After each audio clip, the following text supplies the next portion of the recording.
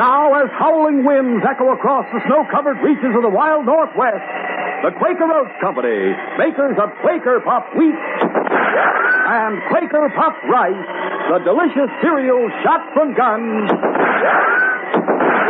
in cooperation with the Mutual Broadcasting System, presents by special recording Sergeant Preston of the Yukon.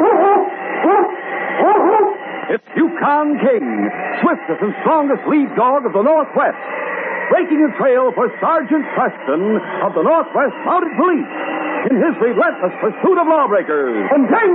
On you, Husky! Gold, gold discovered in the Yukon. A stampede to the Klondike in the wild race for riches. Back to the days of the gold rush and the adventures of Sergeant Preston and his wonder dog, Yukon King, as they meet the challenge of the Yukon.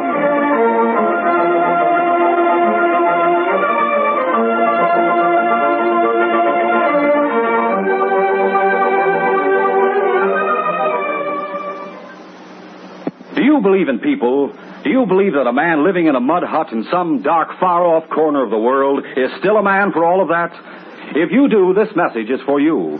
It's the story of that man and his neighbors in a primitive village in the Orient, the Middle East, Africa, South America.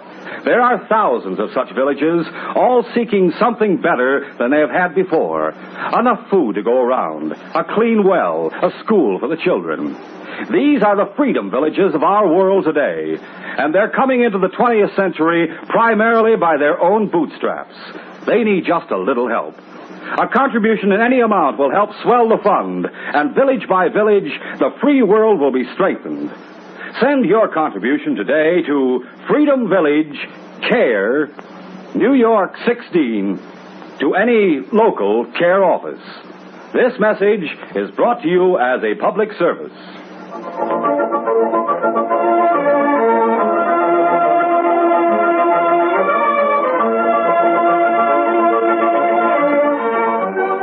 Sergeant Preston and his great dog, Yukon King, were in Dawson to report to the inspector at the end of a patrol.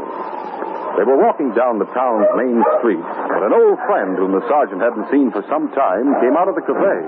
Jim Harper. Huh? Oh, oh, well, as I live and breathe, it's Sergeant Preston. Glad to see you, Sergeant. Glad to see you, Jim. You too, King.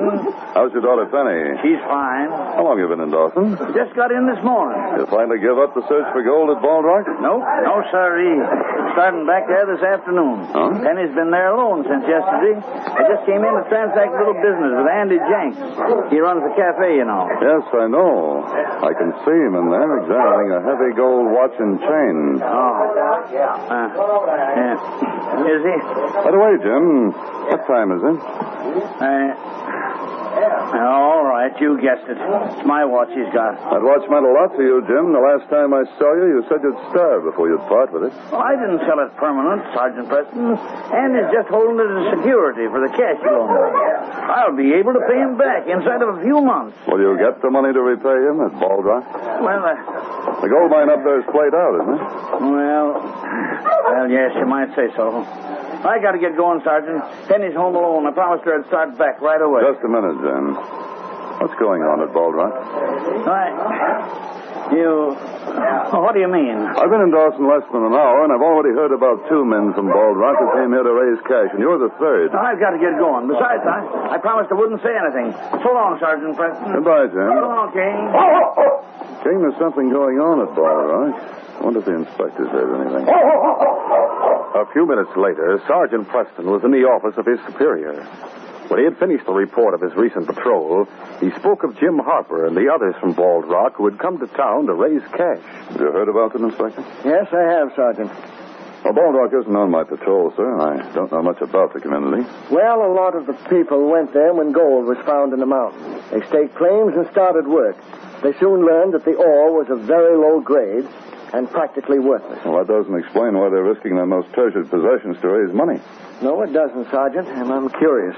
I have a week before I'm supposed to start out on patrol again. That time I could go to Bald Rock and look around, sir. I'd appreciate that, Sergeant. I'll overhaul my gear and start out in the morning, sir. Jim Harper left Dawson that evening, and it was the following morning when Sergeant Preston set out on a trail along the rim of Willowart Canyon toward Bald Rock. The Mounties' dogs were big and strong, and paced by the great dog King, they covered ground much faster than Jim Harper's aged team. Late afternoon found Sergeant Preston within sight of Bald Rock when Jim Harper reached his home. Jim took the dogs out of harness, then went inside to greet his 18-year-old daughter. Glad you're back, Pop. You made good time. Well, not bad considering the age of my dogs. How'd you make out? That's fair, Penny. Fair to middling. Of course, the dogs aren't used to working I don't much. mean the dogs. well, I got the cash I wanted. I told you Andy'd let me have it. Oh, well, Andy Jinks is a mighty shrewd man. If he loans a cash to invest in Mr. Martin's syndicate, it must be all right. Uh, yeah, yeah. Yeah, Martin's got a good thing there. I do hope Mr. Martin's on the level. Of course he is. He's a fine man. What's more, he knows gold mining. Had a lot of experience in California. Why, you said yourself you liked the gent. Uh, Well, yes, I did. You don't sound sure of it. What's wrong with Martin? But it's not Mr. Martin, Pop. It's his partner. Curly Larson? Well, what's wrong with him? I don't know. Said or done anything wrong? Not that I know of. It, it's just his eyes. They're, well, they're shifting. Well, sakes alive, you can't go on. The door. I'll open it. Oh, well, Mr. Martin. Howdy, Miss Penny. All right, Jim. Come in, Martin. Come on in. Thank you. Just got back from Dawson. Yes, I saw you coming into town. I'm all ready for you, Martin. Got the cash for that stock right here in my pocket. Fine. I'll make out a certificate for you. Here, Martin. Sit right at this table. There's the pen and ink. Thanks. Mr. Martin, are you sure there's gold in the mountain? Sure. Why, Miss Penny, everyone knows there's gold there. Yes, but, well, it's never been worthwhile to work this time. Because of shipping costs, my dear, because of shipping costs. You see, it's not worthwhile to ship a ton of ore all the way to the States for the fifty or seventy-five thousand dollars worth of gold it holds. But if that ore is refined right here in Bald Rock, now that's a different story. If I didn't think it worthwhile, my dear, I wouldn't be here. hey, you are, Jim. There's your stock certificate. Yeah, and here's your cash. Well, how soon are you going to begin building the refinery? Very soon, Miss Penny, very soon. We have to buy up a few parcels of land, then we'll be all ready to go. Oh, Who in tarnation is hammering on the door like that? Mr. Martin, yes? Hey, what's the excitement, Larson? Mr. Martin. What is it, Curly? I've got to see you right away.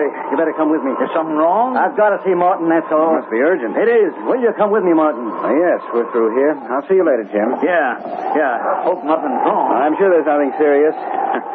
Larson is an excitable man, you know. I'll see you later. Trouble, Larson? Plenty of trouble. Come with me. I'll tell you while we're walking to the caravan car talking. We've got to get out of here as fast as we can. We've got to travel fast and hide our tracks. Why? Sergeant Preston of the Mounties just came into town. Preston? I've heard of him. What's he doing here? This is off his patrol. I don't know why he's here, but that's beside the point. The point is, it won't take him long to learn that we're selling stock on the promise of building a gold refinery. Soon find out that we have no intention of setting up any machinery or giving these people any return on their cash. How can he know our intentions? After all, listen, Martin. I had trouble with the law in Whitehorse. What? I'm wanted for a couple of robberies and a shooting. You never told me that. It didn't matter until now. Preston sees me, I'm a going goose. And if he knows you're working with me, he'll find reason to hold you until he can check up. Then he'll learn that you haven't ordered any machinery. Well, we've collected a tidy bundle of cash. It's pretty near time to leave town anyway. Won't take us long to throw our gear together and get moving. First, we got to take care of Preston's dog. King? Yeah. I never have gotten away from Whitehorse if King hadn't been wounded. We can track down any man who ever lived. what do we do? Shoot the dog? No, no, no. Gunshot would bring Preston on the run. We'll take King along with us. Then he can't follow our scent. Talk sense, Curly. King's a one-man dog. He'd never go along with us. He's locked in a wooden crate. He won't have much choice. Just put the crate on our sled. Very smart, Curly. How'd you get the dog inside a crate? Sergeant Preston wears his official police whistle on a cord around his neck. In an emergency, he uses it to call for help. King knows that whistle. He'll come when he hears it. Yes, but how... Doesn't, doesn't know you, does he? No. Now, then you can get close to him in a crowd. Maybe in the cafe. The sharp knife, it won't be hard to cut the cord and take the whistle. If Preston goes to the cafe. He'll go there. Because that's the best place to get information. And you get the whistle, don't waste any time. Bring it to me at the cabin. Curly's reasoning was logical and accurate.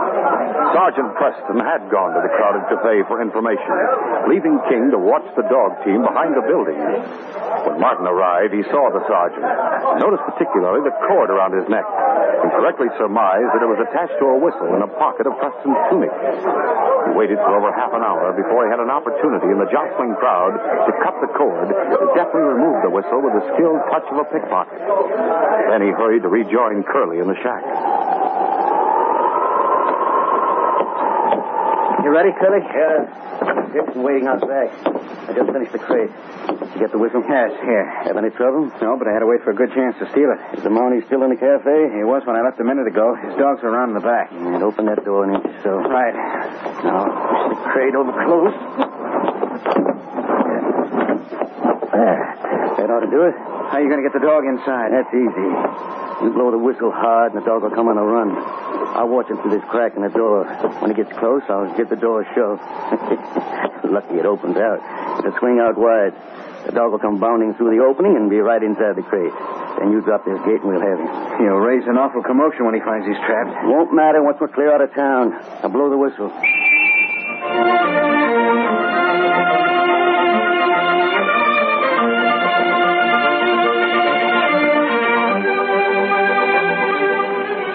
We'll continue our adventure in just a moment.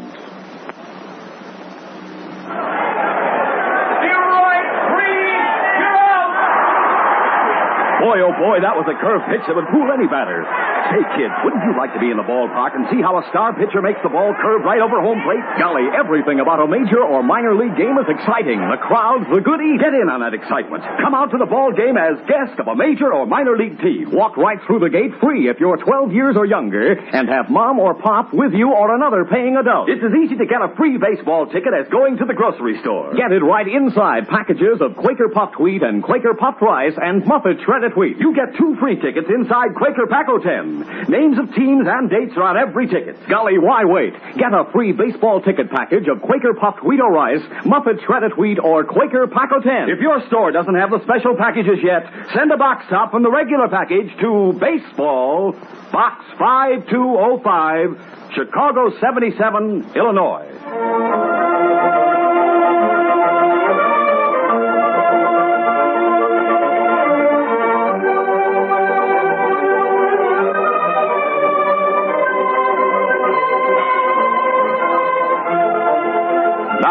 Continue. King was with the other dogs of the team behind the cafe when he heard the whistle of his master. He couldn't understand it. He thought Sergeant Preston was still inside the cafe, but the whistle sounded from a shack a hundred yards or so away. King had been taught to obey that whistle, and after only a brief hesitation, he bounded through the snow toward the door of Curly's shack. As he came close, the door swung open, and the whistle sounded again inside the building. King saw a crate in the doorway. Instinct warned him of a trap, but it was too late to check his leap. He knew instantly that something was wrong. As he turned in the small space, a board dropped into a slot and blocked his exit. Yeah, we got him. All right, now let's get out of here. Grab that side of the crate. Take it out the back. That door ready and the team is hitched. You have the cash? Yes, right here. Where do we go? Down. There's the route through the canyon alongside the river. That's the shortest. Soft snow in the canyon. Might get stuck. We leave tracks. Take the longer route. It's safer. Feels like ice. Won't show tracks of our sled. Now grab that crate. It was not until some time later that Sergeant Preston discovered the loss of his whistle. He mentioned it to the owner of the cafe. What do you suppose happened to it, Sergeant? I can't imagine. I'll investigate the loss of the whistle later. First, I want to talk to those men you told me about, Martin and Curly. I saw Martin here a little while ago, but he left. That was before I knew you were checking up on this proposition. Where does he live? Uh, come with me. I'll show you. All right. Uh, we'll go out the back door. From there, I can point out the shack where Martin and Curly are living. It's an old place that a prospector built some time ago. Oh, is your dog, Sergeant? I wonder why they're barking. Hello, boys. Quiet down. Take it easy. King, where are you? I don't see your lead dog. Neither do I. King! King! Quiet, quiet there, boys. That shack right over yonder is where Martin and Curly live. The door is open. Yes. That's curious. I'll go see if they're there. During the walk across the hard-packed snow, Sergeant Preston was bothered by the loss of his whistle and the disappearance of King. But it didn't occur to him that the two were connected. He found both the front and back door of the cabin wide open. There was no sign of either Curly or Martin. Behind the shack, no tracks were visible on the icy snow. Meanwhile, Martin and Curly maintained a steady pace through gathering darkness. King had worked ceaselessly on the slats of the crate that imprisoned him. The wood was gouged and splintered from his strong fangs. When the sled reached the rim of a canyon, Curly called a halt. Oh, oh, young man. Why are we stopping? That dog has been working on the crate. See if there's any chance he's getting free. You take the crate off the sled and stab hold of one side. Right. Careful you don't get your fingers inside. Uh, just put it down at the edge of the ravine. Right here. We can leave it here. By the time the dog gets free, we'll be miles away. Can't take chances on that dog getting free. What are you going to do? I'm going to kill the mutt. No, no. So shove the crate over the edge of the ravine.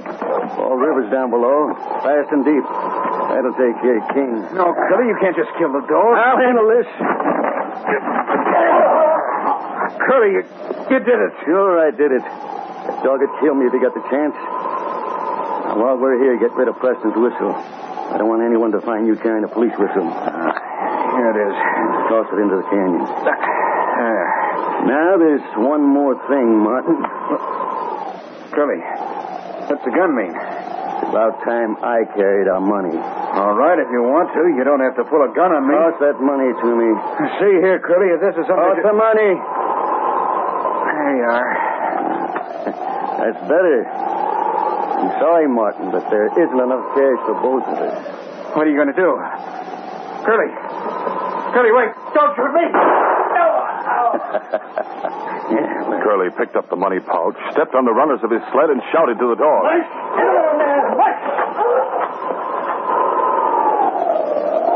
Curly didn't suspect that King had escaped from his recent prison. The crate, weakened by the powerful fangs of the great dog, had broken on impact with the water.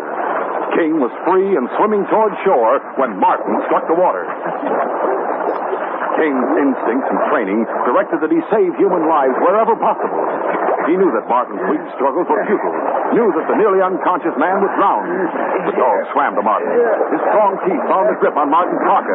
Then he set out for the ice-crusted shore. Martin clung desperately to a slender thread of consciousness. With the aid of King pulling on the shoulder of his parka, he was able to crawl to the narrow strip of shore between the river's edge and the base of the sheer cliff. In the cliff, he saw a shallow cave that offered some protection and shelter. King left Martin and started upstream on the narrow beach at top speed. Sergeant Preston had spent hours questioning the various people of Bald Rock without finding any trace of Martin or Curly or his great dog King. He was with Jim Harper and his daughter. They could tell him nothing about King, but they went into great detail about the plans of Martin. And here's the stock certificate, Sergeant Preston. Doesn't the idea sound like a good one? Yes. Yes, it does. There is gold in the mountain. It's there. Only trouble is it's low-grade ore. If the ore could be refined here, those mines could operate at a profit. I think it's a... Oh, I hear a dog. It's King. King! King, old boy. Where in the world have you been, fella? You're all wet. What happened to you? What a beautiful dog. Here, boy. Steady now. What's the trouble? He's tugging at your leg. Want me to go somewhere, eh? That's what he wants. Go ahead, King. I'm following.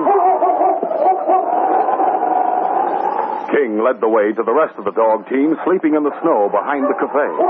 Without awaiting orders, he roused the team and put them in line. Sergeant Preston asked no questions. He strapped on the harness, hitched the tow line to his sled, knowing he could travel faster on the runners than he could by following King on foot. All right, King. On King! On your husky!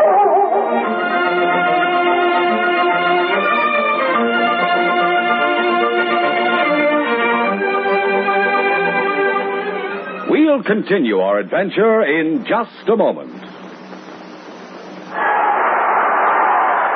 It's a home run! Hooray for our team! Golly, kids, baseball games are a lot of fun, aren't they? He smashed that ball right out of the ballpark. And that puts our team ahead. Gee, I wouldn't miss seeing this game for anything.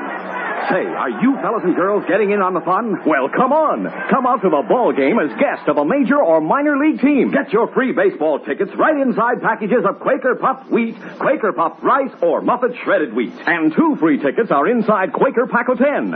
Names of teams and dates are on every ticket. If you are 12 years or younger, just bring mom or dad or another paying adult and see major or minor league baseball games free. So rush to the grocery store. Get free baseball ticket packages of Quaker puffed wheat or rice, Muffet shredded wheat, or Quaker Pack o' Ten. If your store doesn't have the special packages yet, send a box top from the regular package to Baseball Box 5205, Chicago 77, Illinois. Go to the ball game free. See home run hitters in person.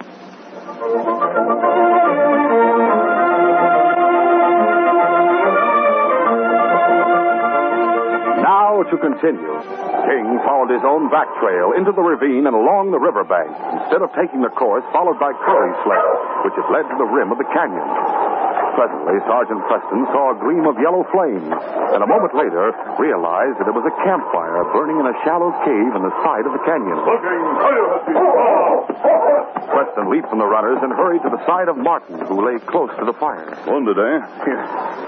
Preston. Yes, I'd like to know who you are, but don't talk too much if it hurts. I'm Martin. Huh?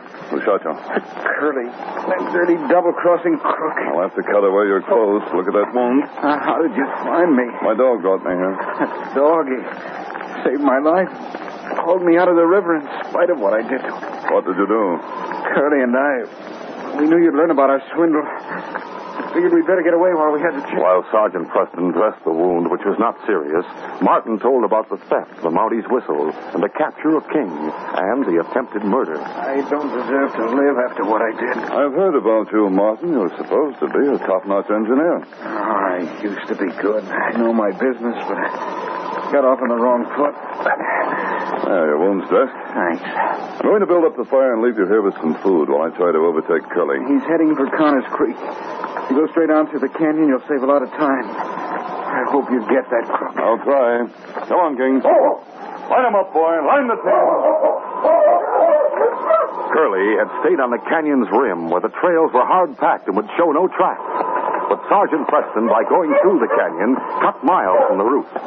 He didn't realize how close he was to Curly until King suddenly barked. Oh, oh, oh, then the Mountie saw a vague shape in the darkness ahead. Get him, King! King was off like an arrow from a bow, streaking ahead of the team. Curly heard his snarls and turned. He saw the furry shape charging with leaps and bounds. No, no, it can't be. He hesitated, unable to believe that King was still alive. He went for his gun, but he had waited too long. King was in the air in a final mighty leap. He struck the would-be killer in the chest and sent him sprawling. All right, Curly, it's the end of your trail. I'll take over, King. Get Dog off, get him off. He's a ghost dog. He's no ghost, Curly, but that's not your fault. You tried hard enough to kill him. Now get to your feet. I'll take up Martin and go back to Bald Rock. Martin. Yes, he's alive, and he'll be a witness for the crown against you. It was the following morning when Sergeant Preston brought his prisoners into Bald Rock. Word of the swindle quickly spread throughout the community. Also, the word that Sergeant Preston wanted everyone who had bought stock to assemble in the cafe. Jim Harper and his daughter and many others were there with their stock certificates. Disappointment was stamped on their faces. When Sergeant Preston arrived, he was accompanied by Martin. A hush swept the assembly. All of you people were defrauded. You know that by this time. I have your money here intact. I can redeem all the stock certificates. First, I want to tell you one thing. Martin had a plan, and it's a good one. He intended to swindle you, and so did Curly. However, Martin has the know-how, and there's cash enough to do exactly as he promised. Folks, folks, I want a chance to redeem myself. I want to build a refinery and go ahead, just as we planned. If you people can see your way clear to give me another chance. What about Curly? Curly's in jail, and he'll stay there. He's wanted for a number of crimes in addition to the attempted murder of Martin. Martin, however, has made just one mistake, and he regrets it. Do you think we should give him another chance? Yes, I do.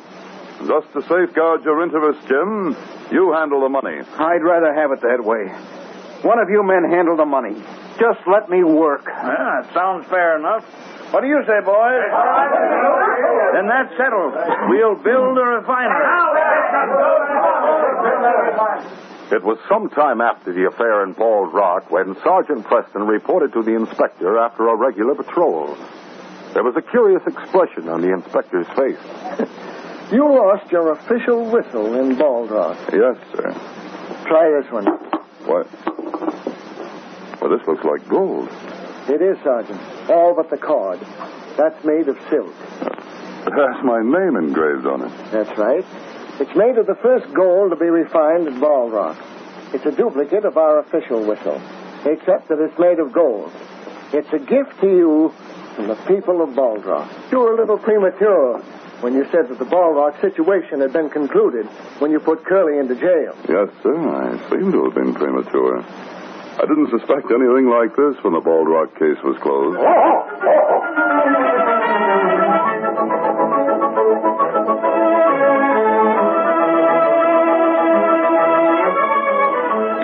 We'll return in just a moment with a word about our next exciting adventure. There's roaring adventure on Mutual. Tales that will take your breath away and transport you into lands where danger is your constant companion. First, we take you far up into the barren Yukon territory of yesterday, where icy winds and howling wolves are enough to drive a man wild, and civilized ways are gone in an ever present lust for gold.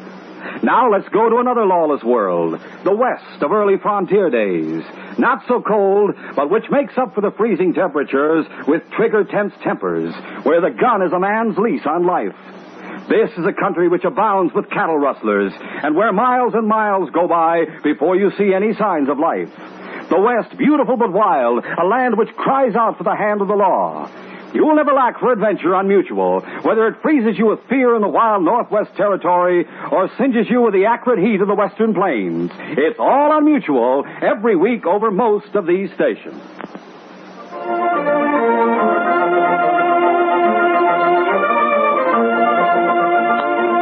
Masked gunman strikes without warning, and no one knows his identity. Unless Sergeant Preston can capture him before the gold shipment is sent out, the sergeant is almost certain to be heading into a deadly ambush.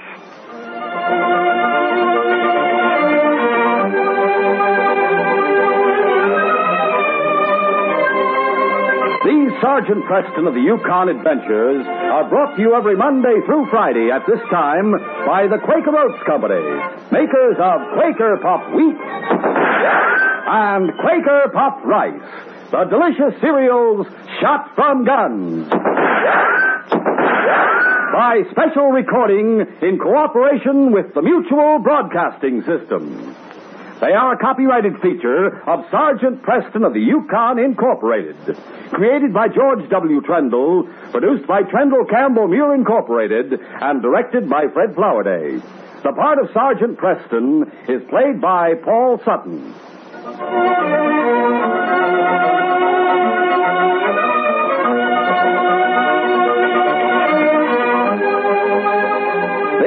J. Michael wishing you goodbye, good luck, and good health from Quaker Puffed Wheat and Quaker Puffed Rice. So long. This is Mutual, Radio Network for All America.